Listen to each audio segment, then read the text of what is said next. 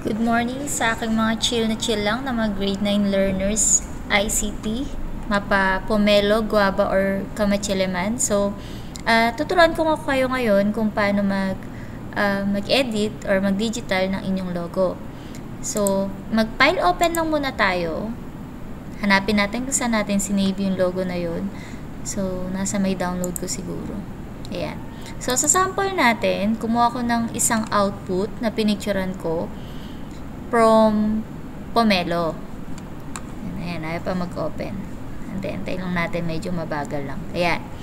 So, since na-open na natin siya, tatry natin siya na i-digital gamit yung pen tool. Kasi kapag pen tool class, mas ano siya, mas smooth yung edge niya. O kaya kapag gumamit kayo ng mga shapes, rather than using brush tool o kaya pencil tool. Okay. So, gagamit na muna tayo ng pen tool. So, bali, dalawa yung magiging option nyo. Pwedeng shapes, pwedeng pen tool. So, pakita ko muna kung ano yung difference ng dalawa. So, dito, sa may custom shape, unahin natin yung mas madali para sa inyo. So, pipili lang tayo ng shape na halos kaparehas nung icons natin. So, let's say, for example, gagawa muna tayo nung uh, ng arrows dito, yung mga sports, yan, yung mga strands na yan. Tapos, yan, gagayahin natin siya. Then, kung ano yung color na nandito, uh, orange to, di ba, yung sa sports, babaguhin ko to. So, ang gagawin ko, pupunta ako dito sa kanyang option bar. Tapos, at uh, ikiklik ko to, color picker, tapos isa-select ko tong sports. Ayan. So, pwede kong mas pa-orange yun. Ayan. Pumili ako ng medyo mas dark na orange. Yan. Tapos, since meron siyang line, ay nakikita nyo, yung fill color niya ay orange, pero yung outer line niya is black. So, maglalagay ako dito ng stroke. Punta ulit ako dito sa may upper corner sa ating option bar. Sa stroke, maglalagay ako ng color black. Sasel ko tong black. Yan. Tapos, tataasan ko lang to. Okay na siguro yung gantong kanipis.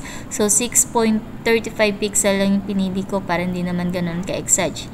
Then, para ma-bend ko ito, since yung ating itsura ng arrow ay naka-bend, so gagamit ako nitong tinatawag natin na path selection tool at, or direct selection tool, itong white. Ang gagawin natin, itatapat natin siya doon. Yan. Then, yung mga points niya, pwede na natin magalaw. Kiklik lang natin yung mga points. Tapos, ito, dito sa may dulo. Ito, dito.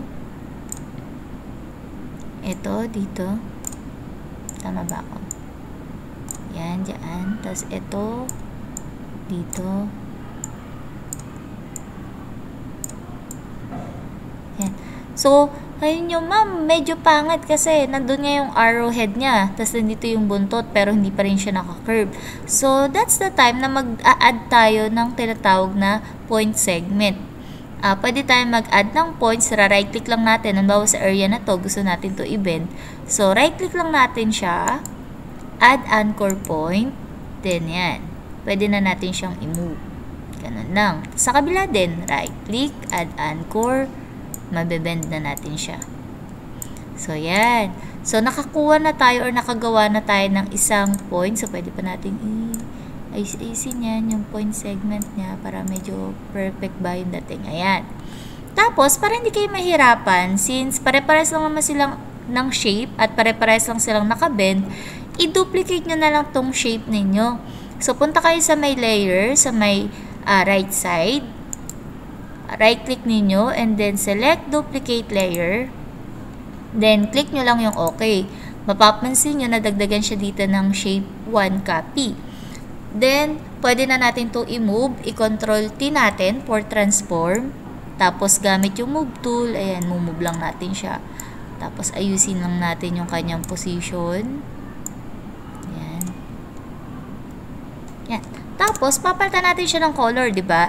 So, make sure lang na magpa pag magpapalit kayo ng color, nakaselect yung shape. Ayan, nakaselect yung shape kasi shape yung, uh, yung ating i-edit. para, uh, para tama na itong shape yung mapapalitan natin ng color. Then, balik tayo sa option bar. Select ulit natin to. Then, para tumpak yung color, dito ko pipili. Tapos, ayan, saka ko na lang siya papalitan. Yan, blue na siya. Then, ganun lang ulit. Gamit tong direct selection tool, edit lang natin yung mga point segment niya.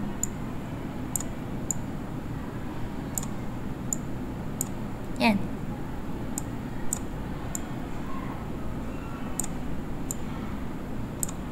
So, medyo ito ay hindi na, nakabento, ba? So, dito na ako mag-anchor point. Yan, para masundan ko yung bend niya. Di ba? Para kopyang-kopya natin. Then, add con anchor point ulit dito. Yan. Then, dito, move na lang natin yan. Move. Then, move natin move. So, yun. So, kung napansin nyo, medyo natabunan siya. Since, uh, nasa ilalim dapat ito, itong blue, para hindi matabunan yung arrowhead ng orange, i-drag down nyo na lang to pababa. Yun. So, eh, Ma'am Shane, ano yung sinasabi nyong pen tool na option na isa? Sa pen tool naman, so, isa-select natin tong pen tool dito sa may toolbar natin. Click lang natin siya. Then, halimbawa kung itong gagawin natin na sample, yung orange, tanggalin ko muna itong dalawa ha, para hindi kayo malito. Uh, ito, then, ang gagawin natin, uh, magpo-point tayo, palitan natin itong field sa may option bar niya. Gawin na natin siya agad na violet. Medyo dark, ayan.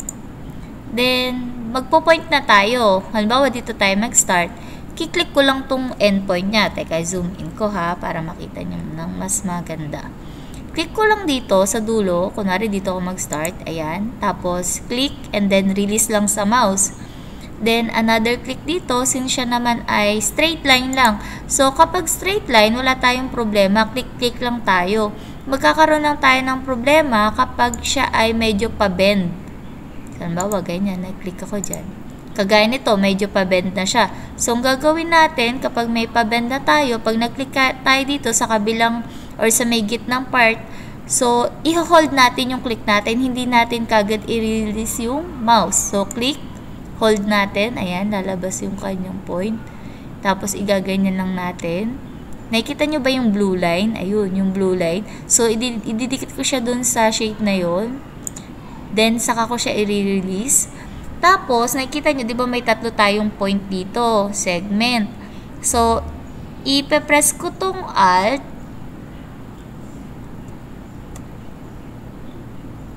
Alt.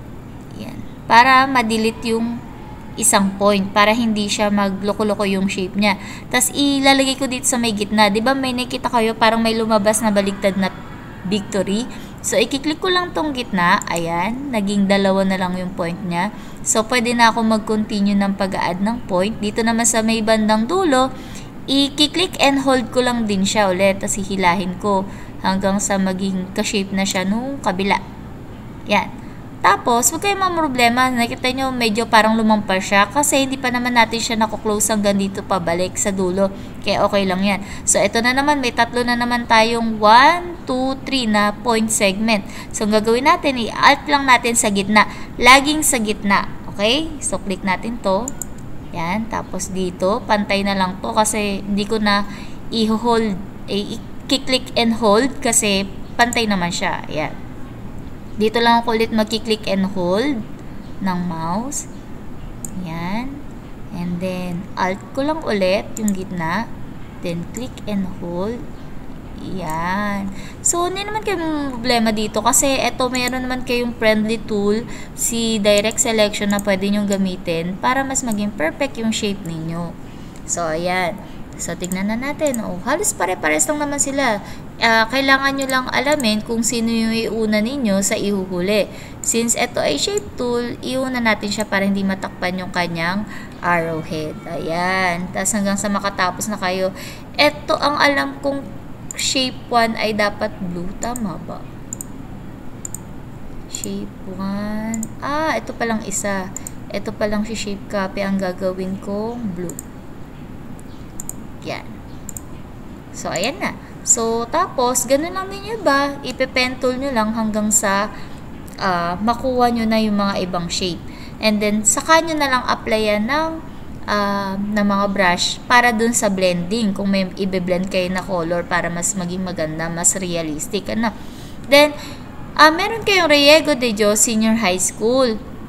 Ma'am, paano na may ikot yan? So, ang hirap naman, di ba?